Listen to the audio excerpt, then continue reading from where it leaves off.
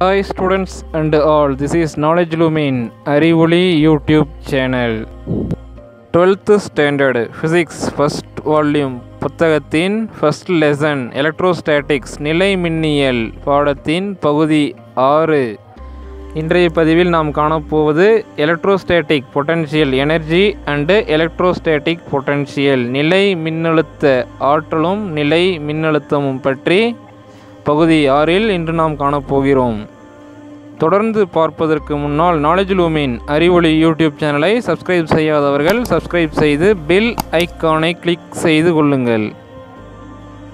Electric potential and potential energy தன்னை சுற்றி மின்புலத்தை உருவாக்கும் கியூ என்னும் நேர்மின் துகளை நிலைநிறுத்துகிறோம். இதனை நாம் எலக்ட்ரிக் ஃபீல்டு என கூறுவோம். பாசிட்டிவ் சார்ஜ் கியூ என்னும் ஆர் புள்ளியின் இந்த மின்துகளிலிருந்து சற்று தொலைவில் சோதனை மின்துகள் Q டேஸ் என்னும் சோதனை மின்துகளை பொருத்துகிறோம்.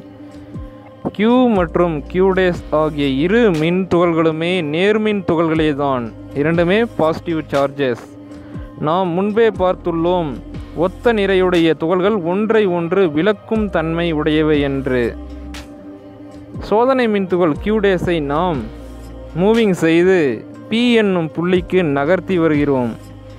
Q மற்றும் Q டேஸ் இரண்டு மின் துகள்களுமே நேர்மின் துகள்கள் என்பதால் ஒன்றை ஒன்று விளக்கும் விளக்கு விசையானது செயல்படுகிறது. அந்த ரீபல்ஷியன் விளக்கு விசையையும் தளர்த்தி நாம் கியூடேஸ் மின்துகளை பி என்னும் புள்ளிக்கு கொண்டு வர வேண்டும்.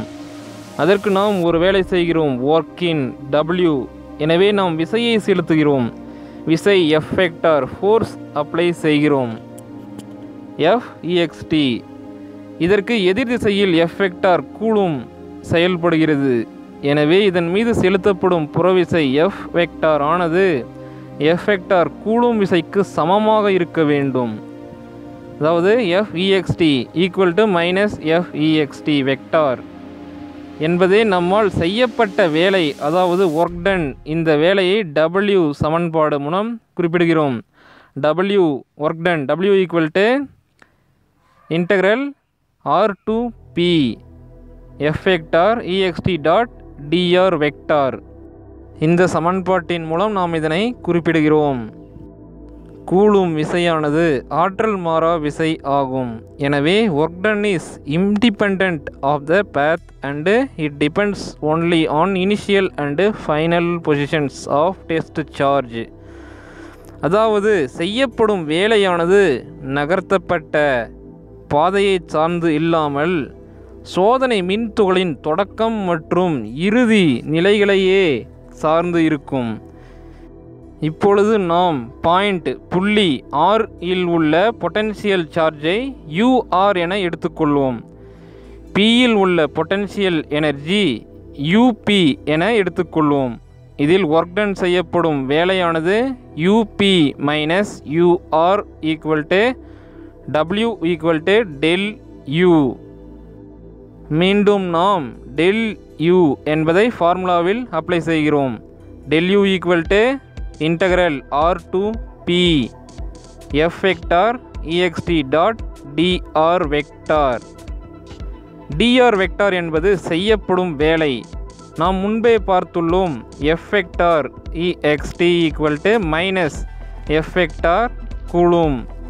எனவே இங்கு F vector E X T equal to minus F vector Coulomb charge equal to the minus Q dash E vector கியூடேஸை சோதனை மின்துகளாக நாம் பார்க்கும்போது del U equal to integral R to P minus Q dash E vector into D R vector இதில் Q dash என்பது constant value ஆகும்.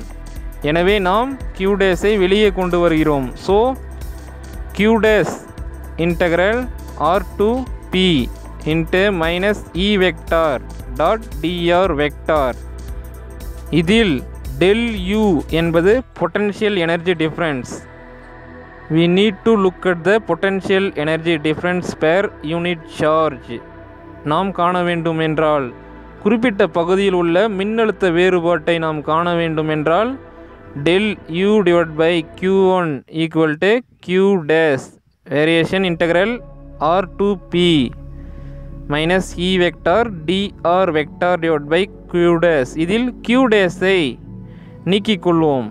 என்றால் del V equal to integral R to P minus E vector dot D R vector இதை நாம் del V என எடுத்துக்கொள்வோம் del V என்பது electric potential difference மின்னழுத்த வேறுபாடு. இதில் மின்னழுத்த வேறுபாடு என்பது புள்ளி ஆறில் இருந்து புள்ளி பிக்கு ஓரலகு நேர்மின்னூட்டம் கொண்ட மின்துகள் ஒன்றை எடுத்து வர புற விசையினால் செய்யப்படும் வேலை என்றும் மின்னழுத்த வேறுபாடு வரையறுக்கப்படுகிறது. இந்த வரையறையினை நாம் பின்வரும் எக்ஸ்பிரஷனில் எழுதலாம். V P minus V R equal to del V equal to integral R to P minus E vector dot D R vector நமக்கு இதில் மையப்புள்ளி பாயிண்ட் பி வேண்டுமானால் சார்ஜை இன்ஃபினிட்டியில் இருந்து விக்கு கொண்டு வர வேண்டும். Because value of V infinity is zero V infinite to zero எனவே விஆர் மதிப்பானது பூஜ்ஜியம் ஆகும். வி மதிப்பானது பூஜ்ஜியம். எனவே நமக்கு விபி மட்டும் கிடைக்கும். இதன் மூலம் கிடைக்கும் formula V P equal to minus integral infinity to P E vector dot D R vector அதாவது குறிப்பிட்ட மதிப்புடைய சார்ஜ் இன்ஃபினிட்டி பாயிண்ட்டிலிருந்து மூவ் செய்து பாயிண்ட் பிக்கு கொண்டு வர எவ்வளவு ஒர்க் டன் ஆகும்? எவ்வளவு எக்ஸ்டர்னல் ஃபோர்ஸ் தேவைப்படுகிறது என்பதாகும். The electric potential point P is equal to the work done by an external force to bring a unit positive charge with constant velocity from infinity to the point P in the region external electric field E அதாவது ஒரு புள்ளியில் P மின்னழுத்தம் என்பது புறமின்புலம் E செயல்படும் பகுதியில் முடிவில்லா தொலைவில் இருந்து அந்த புள்ளி பீக்கு ஓரளவு நேர்மின்னூட்டம் கொண்ட மின்துகளை சீரான திசைவேகத்துடன் கொண்டுவர புறவிசை இ ஒன்றினால் செய்யப்படும் வேலைக்கு சமம் ஆகும். ஸ்டூடெண்ட்ஸ் இதன் மூலம் எலக்ட்ரிக் பொட்டன்ஷியலில் இருந்து நாம் சில இம்பார்ட்டன்ட் பாயிண்ட்ஸை அப்சர்வ் செய்ய வேண்டும். ஸ்டூடெண்ட்ஸ் நாம் இப்பொழுது காணும் இந்த மையப்புள்ளி பியில்க்கும் கியூ டேஸ் இவை இரண்டுக்கும் இடையே உருவாகும் மின் அழுத்தமானது மூல மின்துகள் கியூ பாசிட்டிவ் கியூவினால் உருவாகும் மின்புலத்தை மட்டுமே சார்ந்ததாகும். இந்த மின்துளமானது சோதனை மின்துகள் நாம் இறுதியாக பார்க்கும் ஆறு புள்ளியில் உள்ள கியூ டேஸை சார்ந்தது கிடையாது. முடிவிலா தொலைவில் இருந்து புள்ளி பிக்கு ஓரளவு மின்னூட்டம் கொண்ட நேர் மின்துகளை சீரான திசைவேகத்துடன் நாம் கொண்டு வர வேண்டும். ஏனென்றால் அதை செய்யும் புறவிசையினால் அந்த சோதனை மின்துகளுக்கு எந்தவித இயக்க ஆற்றலும் அளிக்கப்படக்கூடாது. இதுவே முதல் பாயிண்ட் ஆகும்.